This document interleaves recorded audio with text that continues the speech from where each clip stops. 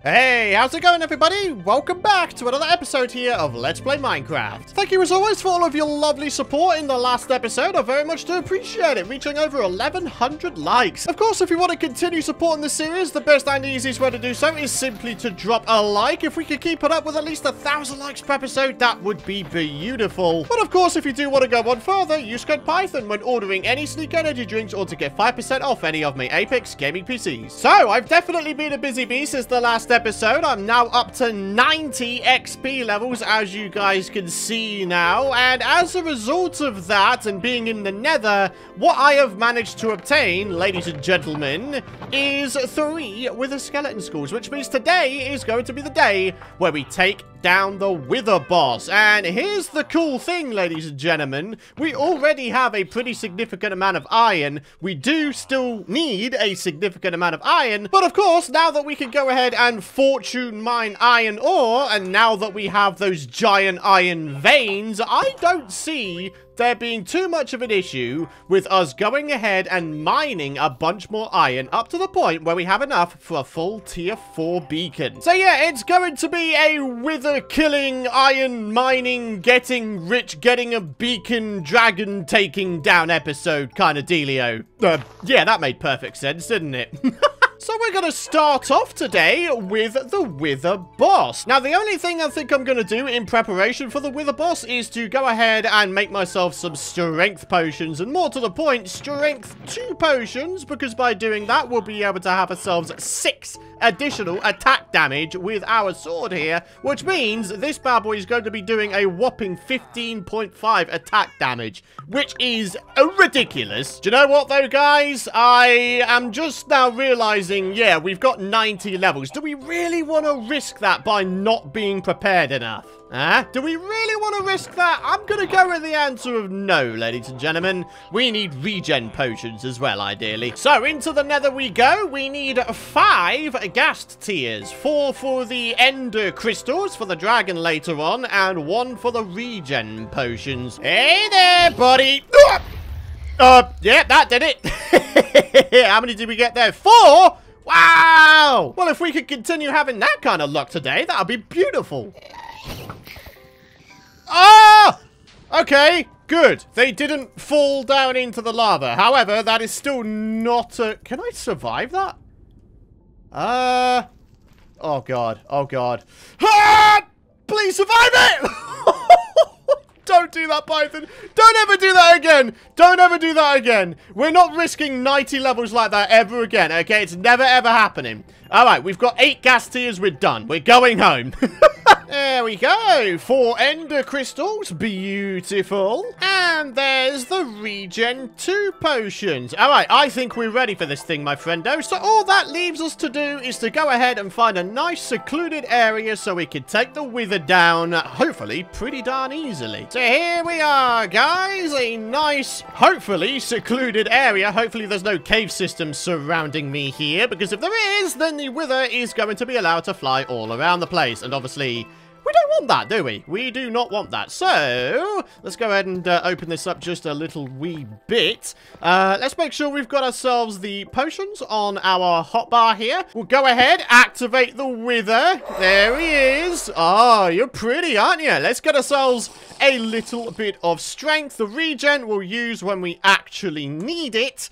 There we go. All right, here we go. So we start off with the bow, of course, nice and simple. And then, when it comes to it, we'll go ahead and switch to the sword at halfway point. Come on. Yeah, I mean, yeah, he's breaking his way through. But do you know what? It's neither here nor there. Now, we pop in with our sword. I'm getting uh, no damage done to me. Oh. Huh. Well, that was easy. Oh, I'll tell you what, ladies and gentlemen, when you know how to take down the bosses in Minecraft, it just becomes second nature, doesn't it? You become an absolute monster against it. Wow! That took no time at all. I didn't even need to use my regen potions either. It's so stupid. Oh, goodness me, my friends.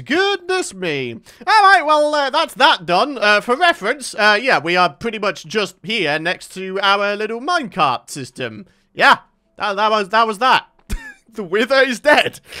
oh, that was just too easy, bro. That was way too easy. All right, well, uh, now that that's done, we can go ahead and actually make the beacon. And then we need to go on a mass iron mining spree. I do love a nice big mining trip every now and again, my friendos. And as I said, we find ourselves one of those giant iron veins. We can just go ahead and mine the ever-living poop out of it with a little bit of fortune, baby. Ah, oh, look at it, my friends. There it is, the beacon. Oh, it's beautiful, isn't it? Look at that beautiful block. All right, well, we're not going to be using it for now, but we will be using it in a near future mega project, okay? That is right, we are going to be beginning a mega project here on this world pretty shortly here. That is why I was wanting to get a tier 4 beacon. And to have ourselves that tier 4 beacon, and therefore insta-mine, means that we could go ahead and take on mega projects that involve digging way the heck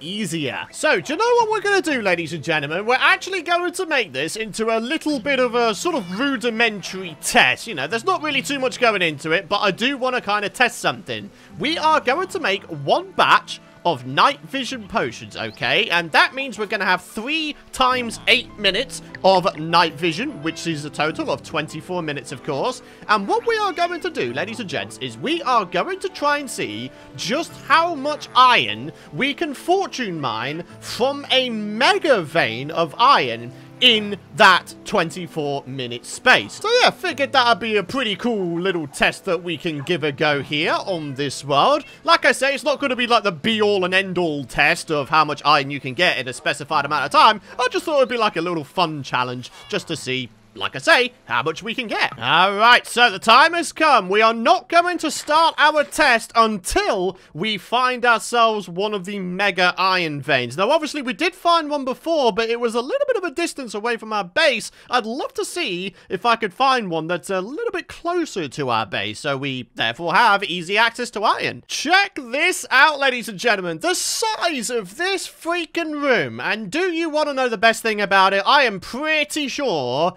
down the bottom there, there is a mega iron vein, or the beginnings of a mega iron vein. There's also a diamond ore piece or two sort of strewn across the place, which is nice. I think this is the perfect place to begin our little test. So, let's go ahead and uh, get one of these here Night Vis Potions on us, and upon going ahead and consuming it, we shall begin this thing. Look at that! Oh my goodness, there's loads of it! There's loads of it! So, here we go, my friends. Consuming the Night Vis And let's begin. We are going to see just how much iron we can get in the space of 24 minutes. Three Night Vision Potions worth of time. Oh, man, this is going to be so cool. All right, so there's some more iron up here. Oh, it's all over the place, dude. It's literally all over the place, man. Oh, hey, would you look at that? I'm up to 91 levels now. Ooh, only nine more, and we've achieved our goal, and we can start spending our levels. Oh, and would you look at that? There's actually one there. Fantastic. So what we're going to wind up doing is actually converting these back into their raw variants. So we have a slightly better visual representation as to just how much resources we have going on here. Oh my goodness, it's just everywhere, isn't it? So when you do find these mega veins. Oh my goodness! Hello! Don't mind if I do this, son. When you do find these mega iron veins, all you need to do is just keep on mining up the tuff, And, uh, yeah, eventually you'll keep coming across this stuff. Huh. Even more diamonds. Okay. Oh, wow. This is actually a good amount of diamonds. Wow. Okay. Inadvertently doing the 1,000 diamond ore mining challenge as well. Or more to the point, adding to it. Even more diamonds. What the heck? Am I just getting incredibly lucky with these diamond ore finds? Or do they actually have a higher chance of being attached to these here giant ore veins? Like, is that something that's a thing? I mean, as far as what I've read, I don't think there's anything to be said about diamond ore spawning more near the giant ore veins. But, uh, I don't know. I think we've just been lucky. I have absolutely no idea. Alrighty, my friends. The first of the night vision potions is just about to run out here. Oh, wow. There is so much iron here. And uh, we have managed to get ourselves four and a half stacks. No, sorry, five and a half stacks of iron here. Wow! That's crazy. And all of this has just been from one giant ore vein. Get that! Just one, my friends. Just one. Like, honestly, having fortune against these here giant ore veins is just absolutely ludicrous. So yeah, let's continue on here, my friendos, and let's see just how much further this iron vein goes. Look at that, again with the diamond ore. What is going on? This is so peculiar, but I am absolutely never ever going to complain about it. Alright, another three ore for the 1000 diamond ore mining collection. Oh, goodness me, the question now emerging in my mind is what's going to happen first? Is my final night vision potion going to run out first? Which, by the way, I haven't consumed the third one yet. Or am I going to run out of fortune pickaxe here first? Oh dear, if it winds up being the latter, then that's rather going to put a spanner in the works, isn't it, guys? it just keeps going, ladies and gentlemen. It just keeps going. We are still at the same iron vein, ladies and gentlemen. And what do you know? Our second Night Viz potion has, in fact, run out. So, a little bit of an inventory update. That is 8 stacks there, nine, ten stacks, 10 and a half stacks is what we are at currently, ladies and gentlemen. So, if we keep on with this kind of rhythm, we should wind up with, what, 16 stacks of iron? That'd be kind of ridiculous, wouldn't it?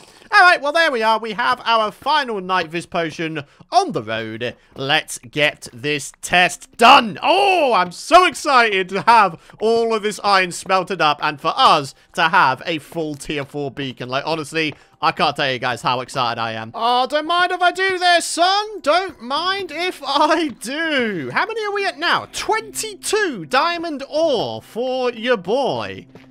Not bad.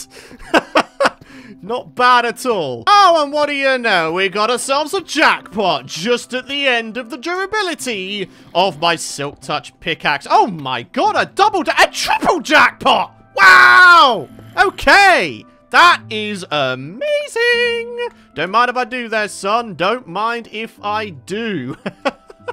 That's quite a find, isn't it? All right, there we are. Wow. I mean, I wasn't too far off. 16 stacks was still just about going. We'll keep on going with this until it is, uh, like one durability. Okay, that's now one durability. I'm now going to take it off entirely so we don't accidentally use it and break it, okay?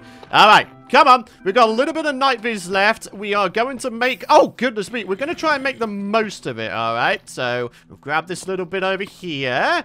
Any more for any more? Yep, there's a whole bunch more, actually. If I just sort of keep searching around the tuff here, we'll keep on finding more and more bits of iron. There we are, there we are. And what do you know? We're gonna... Oh my goodness, it just keeps going. It just keeps going, ladies and gentlemen. It just keeps going, doesn't it? There we have it. So my guess of 16 stacks of iron was pretty much right on the money. 24 minutes worth of night viz and mining a giant iron vein is enough to get over 16 stacks of iron. I mean, I don't know about you guys, but that was a test worth doing. That is incredible. I'd love to try and pitch that against the rate of a really good iron farm. 16 stacks of iron ingots within 24 minutes. Are there any iron farms out there that are capable of that? It just might be now that iron farms really aren't worth it anymore. I don't know, man. I just don't know. I haven't made an iron farm in a fair bit. So, uh, yeah. What we're going to do now, though, is we're going to get the heck out of here because, uh, yeah, I don't want to be risking my 91 levels, okay? Oh, would you look at that? There's even more of the giant iron vein. I mean, most of it was sort of way over there. I dug like four, maybe five giant areas areas where there was just iron everywhere. And now there's yet another one. Wow. Okay, well, I'm going to have to come back here, aren't I? this is just crazy. I can't believe how effective giant iron veins really are for getting yourself a high supply of iron. I think it's absolutely astounding. I really do. So, all we got to do now is start blast smelting all of this iron here. Now, needless to say, this is going to take a fair while. So, what we are going to do while we wait is we're actually going to go ahead and take on the dragon for today's episode. But before that, Check it out, 43 diamond ore towards our eventual 1,000 diamond ore mining challenge here. 4.3%, eh? Not bad, not bad. You know what, my friends? There's a way that we can sort of semi-automate this thing, and that is to go ahead and do a little thing. Right, what we're going to do is we're going to put down a chest, okay? Going to put a hopper right there. The blast furnace is going to go on top. Okay, and then we need a... Oh, that's not quite what I need. We need a, another hopper just on top of that, and then a little chest on top of this. And then, you know, I don't have to worry about coming back to base and, you know, refilling up this thing. So we'll manually put the coal blocks in there for the fuel, of course. Uh, ah, uh, I cannot open that chest. So we open up this chest, put all of the stuff that needs to be smelted, and then it all gets smelted away. There we are. Probably the most simplest semi-auto smelter you can get. Semi-auto because, of course, we manually put the fuel in, didn't we? And hopefully what should happen is this blast furnace will start storing up all of the XP it has from smelting up all of the iron here, right? So later down the line, when we go ahead and manually take something out of the blast furnace, we should get an absolute ridiculous bulk of XP, shouldn't we? Alrighty, arrows are ready, end crystal is ready. Let's go ahead and get the dragon taken down for today's episode. I must admit, I'm still in absolute disbelief at just how much iron we managed to get in that space of 24 minutes. I think it's absolutely fantastic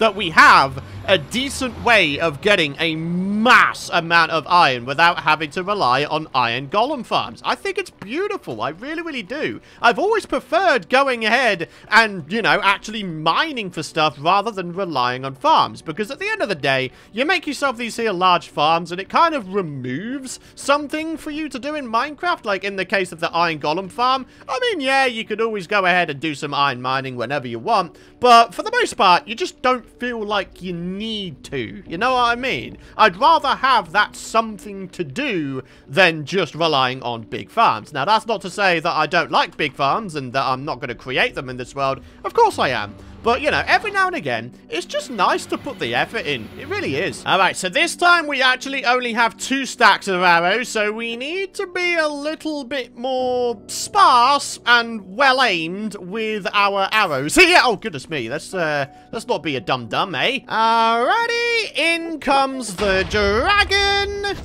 And there goes the dragon. So long, sucker!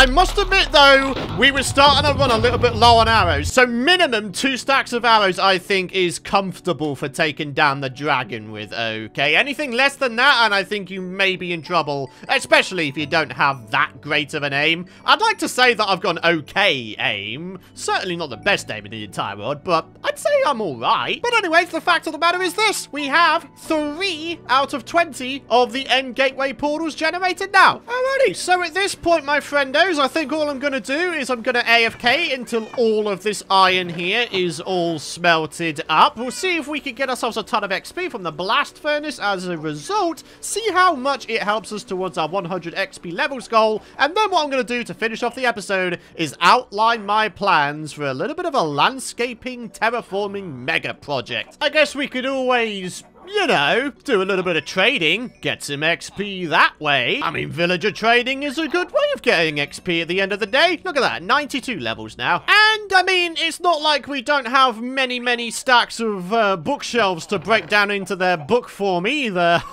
oh my goodness, we got a lot of books we can sell here. All right, you know what? This is actually taking a fair amount of time, so I think I'm going to go ahead and uh, outline my plans to you guys for a little bit of a terraforming, landscaping mega project. And I think probably the best way I can explain this project to you is by bringing on my camera account and flying way above the world so we can outline the project plans. So, ladies and gentlemen, here we are on our camera account and let me introduce you to Project Waterways. So as you can see, we have multiple segregated bits of river and multiple water bodies all over the place, okay? So let's say that this area here, this giant area I'm looking at, this is like the entire project, okay? But what we're going to do is we're going to start off on the left-hand side and talk you guys through it, okay? So, on the left here, we have ourselves a waterway that comes to a dead end, and we have like a bit of a river here which doesn't lead anywhere at all.